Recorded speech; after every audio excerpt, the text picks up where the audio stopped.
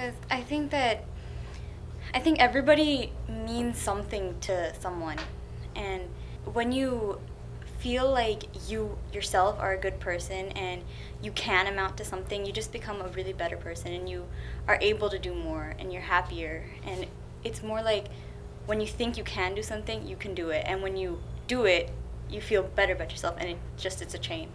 I would watch movies and I would feel like there's so much that they have, but then I kind of feel like they're people too and I'm I'm a person there's nothing different what happens is when people talk about it like that, like they say, oh, they're so pretty and I'm not, then I say, oh, but you are. And there's nothing different between the models and the actresses and between us as people.